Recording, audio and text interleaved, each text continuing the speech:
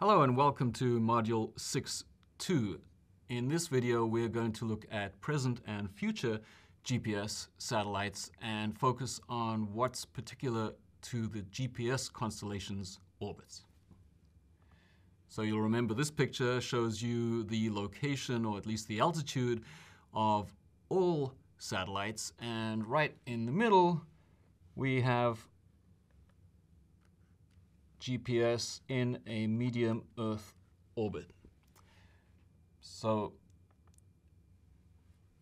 to explain that a little bit more, I'm going to begin with a, a short animation of a geostationary satellite, and we pick a particular SBAS satellite, which is a, a part of the augmentation system for GPS. So uh,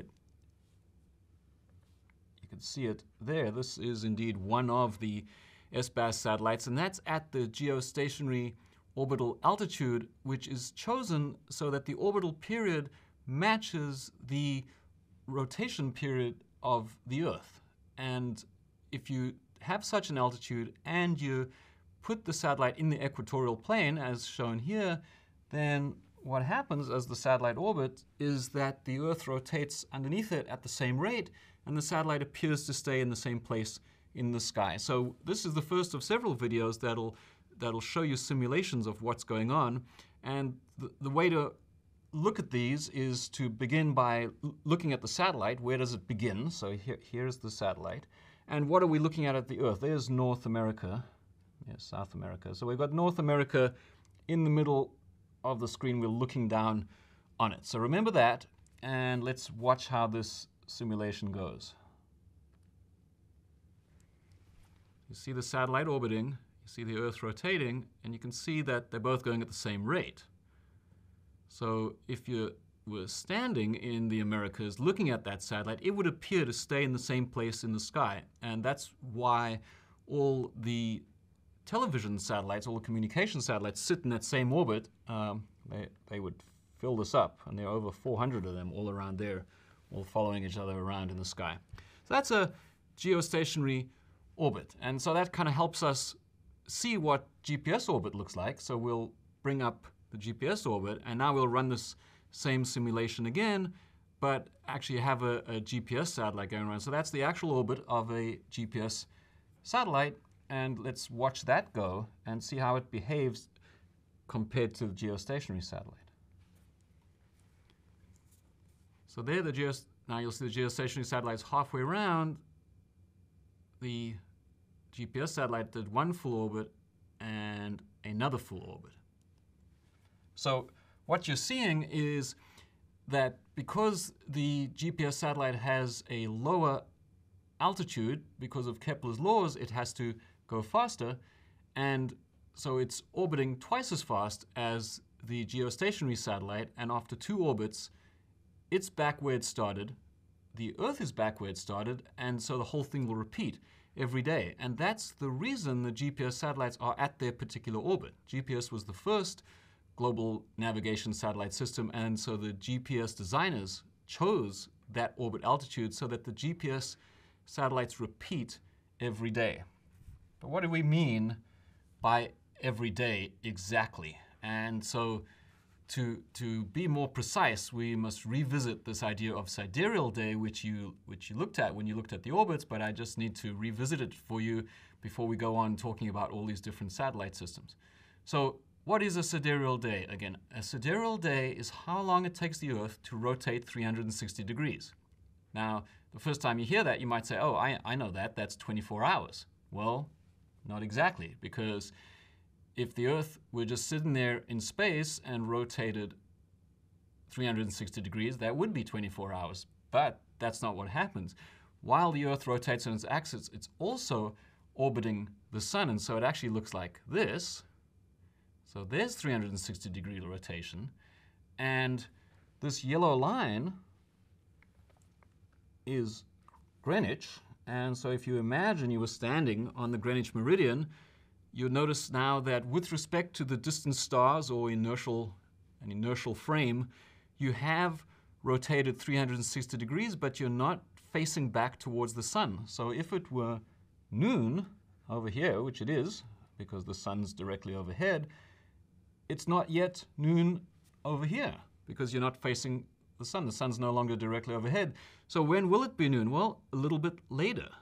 You'll have to rotate a little bit more. Now the sun's directly overhead, and that is 24 hours. That's the definition of 24 hours. A, solar day is how long it takes the Earth to rotate so that the sun appears back where it was at the same longitude as the previous day. So from that we can see that a sidereal day is less than a solar day by a certain amount. Now, by how much, you, you might know this answer, you might remember it, but in the spirit of not having to remember anything, just understanding anything, I'll show you a little trick. You notice it rotates a little bit extra, and this happens 365 times in a year. The Earth has to rotate all the way around the sun in a year. So the amount extra that it has to rotate times 365 gives us one whole extra rotation. And so from that, we can infer that a sidereal day is that much less than a solar day, 1 365th.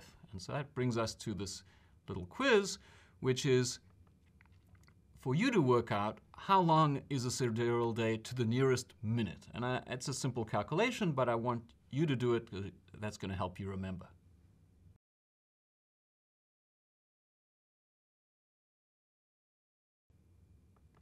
So welcome back, and uh, so by now you would have figured out that the 1 365th of a day is to the nearest minute, four minutes. Uh, you would have seen it's a few seconds different from four minutes, but for our purposes it's enough to go to the nearest minute. And so we, we, we've now seen that the GPS satellite, by having an orbit period of exactly half a sidereal day, which it does, so we half a sidereal day, we, we can see very clearly that after two orbits, the Earth is back where it started in inertial space because it spun around once, one sidereal day.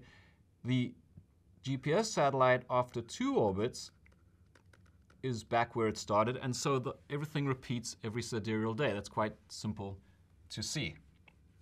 And so that's the something that's special to GPS and different for all the other systems, and we'll see how in the following videos. And so finally, we just show the picture of all the GPS orbits and, and summarize them like this, and we'll show the same kind of picture for all the different constellations, and so you can get a good feel as we work, work through this module of how they are similar and different from each other. So the things we choose to highlight here are the, the total number of satellites, there are currently 31 GPS satellites in operation. There have been approximately 31, meaning 30, 31, or 32, and varying as certain satellites are launched or, or taken offline. Uh, however, it is known as a, quote, 24 plus constellation, and that's because the guaranteed minimum number that the Air Force, U.S. Air Force guarantees they will provide to you. This is in the interface uh, specification that they provide. They say there will always be 24 satellites. So they maintain the system at 30, but as satellites get old, it's possible they could go back to 24. Uh, and so it's known as the 24 plus constellation. Although over the last several years, the system has maintained at 30, so it's a reasonable guess that it will continue to be maintained at 30, but it's not a guarantee. So that's the number of satellites.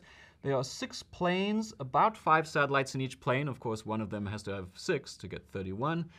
Each plane is inclined at 55 degree inclination, and the consequence of that is that as the satellite orbits and the Earth rotates underneath, the highest point on the Earth that a satellite can get to while still directly overhead is 55 degrees latitude and minus 55 degrees latitude and so on. And as the satellite orbits and the Earth spins underneath, you, because the Earth's spinning at a different rate, as we just saw in the video, you, you get a line on the Earth for each satellite that looks very much like the line on a tennis ball. So if you imagine that line, the seam on a tennis ball, that's, that's what each satellite traces out on the Earth, if we try to follow one here, it would look like this, and it would be the same on the other side.